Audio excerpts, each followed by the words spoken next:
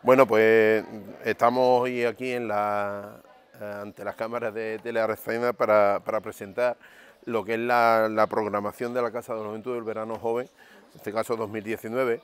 Eh, como ya hace un montón de años, si contamos el aula de medio ambiente antiguamente, mm, estamos hablando ya de 21 años, los que llevamos sacando una programación de ocio alternativo para que todos aquellos adolescentes, aquellos jóvenes, jóvenes, me refiero a chavales hasta 18, 19 años, que han terminado sus estudios que, o, que incluso algunos no están estudiando y no saben qué hacer este verano, pues desde la Casa de Juventud, dentro del programa de salud, dentro del programa de prevención Ciudades ante la Droga, pues planteamos lo que es este programa de, actividades,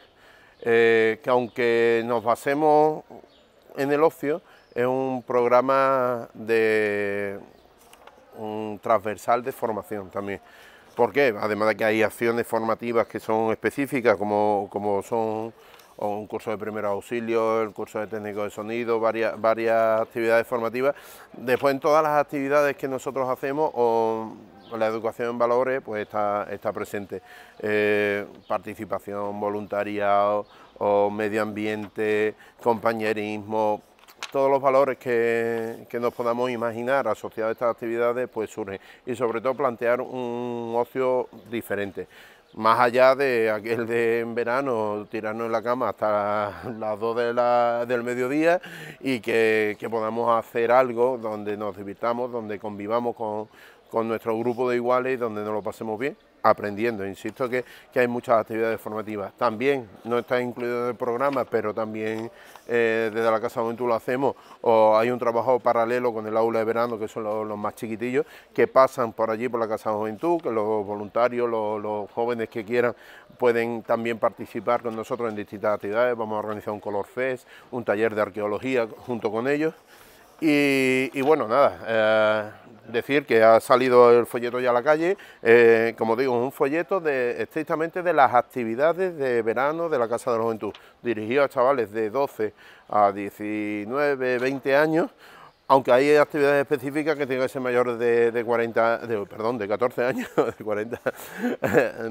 eh, pero quitando ese par de actividades, todas las demás, ah, pueden venir todos aquellos jóvenes que lo desean, mm, ¿Cómo vamos a funcionar? 10 eh, días, 15 días antes de cada actividad se sacará la hoja de inscripción con la autorización paterna, con todo esto, y todos los chavales que quieran apuntarse pues tienen que llegar, rellenarla, inscribirse y aquellas actividades que, tengan el pago de, una cantidad eh, económica pues tendrán que hacerlo para reservar su plaza y después pues lógicamente cuando llegue la fecha pues haremos la actividad. ¿Por qué digo lo del tema? La mayoría de las actividades, eh, todas las actividades están subvencionadas por el ayuntamiento. El gran coste de, las actividades eh, asume lo que es la Casa de Juventud, pero sí que es verdad que hay ciertos aspectos, que que son entradas a parques acuáticos o ciertas cosas específicas que sí que las familias, los jóvenes tienen que asumirlo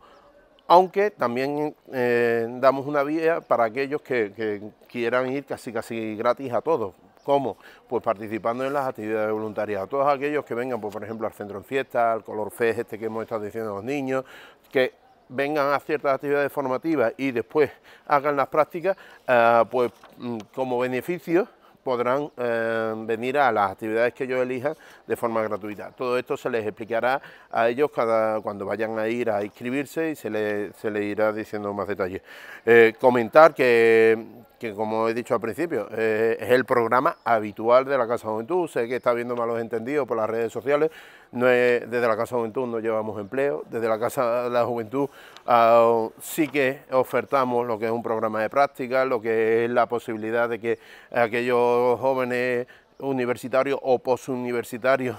o que quieran venir con nosotros a colaborar puedan participar, pero mm, se nos va de ahí ya de ahí adelante nosotros no es nuestra materia lo que es el tema de la, promoción de empleo. Así que eh, este año vamos a hacer un estudio de juventud aprovechando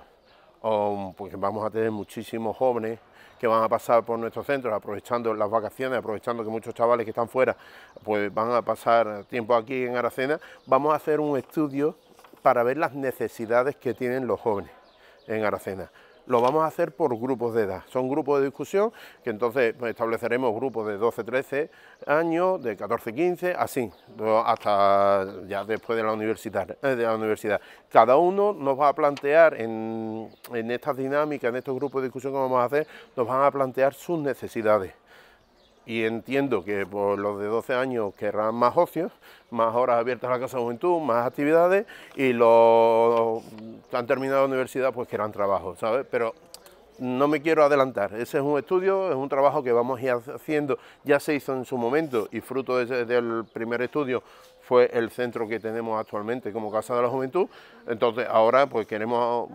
hemos visto que ha llegado ya el momento de hacer un segundo estudio, ver si la situación juvenil en Aracena ha cambiado y, para después con ese estudio, esos datos, proponer alternativas y llevarlas a, aquellos lugares donde nosotros mm, no podamos llegar. Transmitiremos esta información. Entonces, referente a esto que estamos diciendo de, los malos entendidos de, las redes sociales, decir que este es el programa tradicional que hacemos durante toda la vida de ocio alternativo, un ocio saludable, donde los chavales puedan disfrutar, chavales y chavalas, lógicamente. Que más allá, pues, una vez terminado el estudio, pues sacaremos los datos que los publicaremos, los datos que hemos recogido y, haremos nuevas propuestas para que se intervenga con, la totalidad de los jóvenes. Actualmente, pues este programa va dirigido al ocio alternativo para adolescentes eh, y bueno, esperemos que mm, siga surtiendo el efecto que ha surgido otros años, porque ha ido muy bien, otros años ha funcionado, la verdad que los chavales están muy contentos. Hace un estudio, hace un, una programación que se ha basado en un sondeo que hemos hecho entre los jóvenes. Aquí están las actividades que nos han pedido ellos. Lógicamente, las hemos adaptado, las hemos sobre todo porque económicamente nos pueden pedir el oro y el moro y tenemos que adaptar a la realidad en la que estamos y sobre todo a la realidad que ellos puedan después participar en, en ella y así lo hemos hecho. Se ha plasmado en este, en este papel, las redes sociales, Facebook, está por nuestro grupo de difusión, la página del ayuntamiento. Entonces, eh, invitamos a todos aquellos que aún tengan dudas, porque se pasen por la Casa de Juventud y nosotros les explicaremos. La primera actividad va a ser un, viaje a Isla Mágica, que va a ser el día 26. A ver, justamente al día siguiente eh, vamos a tener la primera actividad formativa, aunque sea la última del año, mm, coincide también como la primera del verano, que va a ser la clausura del, programa del taller Los Ojos del Bosque, un programa de medio ambiente que hemos estado trabajando durante todo el curso, desde enero, y que queríamos hacer coincidir esta última actividad que va a ir centrado en el tema de avistamiento de estrellas, observación de estrellas, es una actividad nocturna, entonces veíamos mejor, pues ya en una época estival, ya el verano acababa, acaba de entrar el día 27 y entonces pues haremos un taller junto con Babel Nature, eh, el amigo Dani Calleja, nos hará un, trabajo de interpretación de estrellas, de observación y, bueno, mostrándonos lo que es la,